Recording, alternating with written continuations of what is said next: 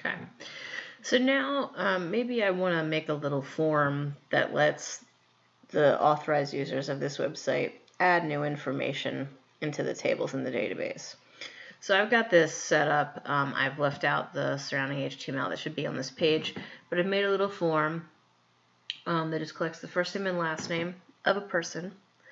And then I've got the PHP that'll do processing down here. So if the form has been submitted, I'm going to grab out the first name and last name. Um, for simplicity of this example, I'm leaving out uh, like sanitization of the input, but you would obviously want to include that um, in a real site.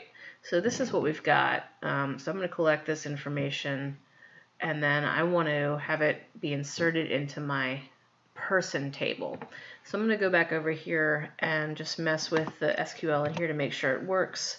So I'm going to insert um, into person and I want to add the values um, person first name and person last name and I'm putting in values and I'm just going to put in some specific values right here. So let's do Flavia which is one of my other dogs.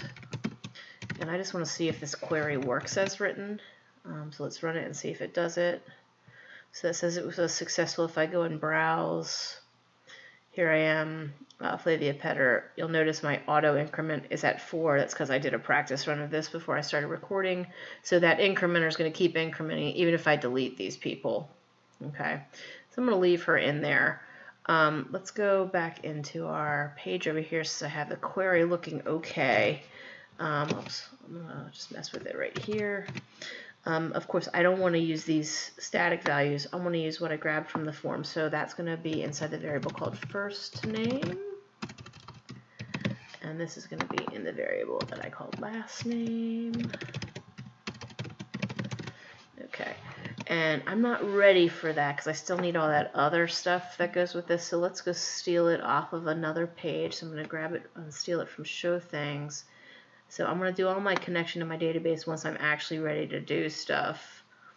Um, and I'm going to grab this much only, okay, because we're not actually accessing information this time. We are adding it, so I don't need all that stuff. But I'm going to put this right here. Okay, so I've got my connection made. I'm going to run my query. I still need to know if I'm successful in running it. So I'm going to check this. Okay, just trying to line stuff up here.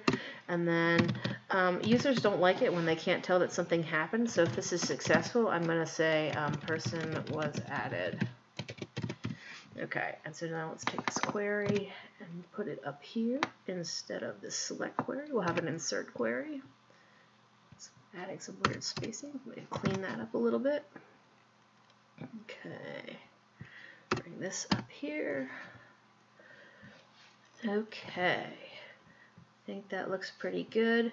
And then after this runs, I'm going to close up the connection. All right, let's see if this thing works. So let's come over here.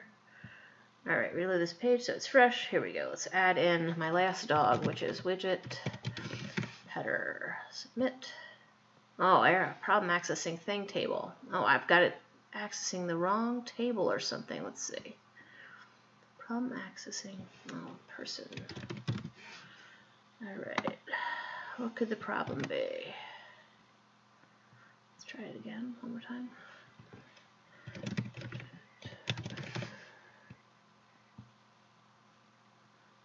Okay, so let's see.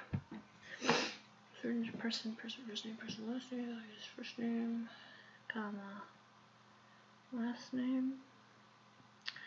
I wonder if I need to put these guys, let's see.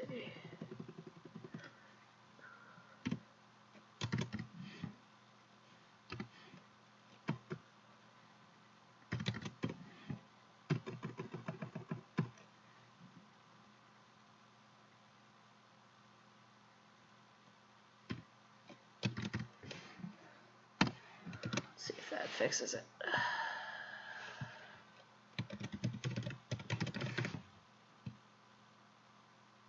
Alright, yeah, so let's go check our thing over here. Browse again. There's a widget header. Okay. So what did I have to do to fix that? I had to break out um, so that I could put quotes around my values since they're coming from variables. Um, I had to turn them into little quoted things by closing up my string and then reopening it. So that's how you add something.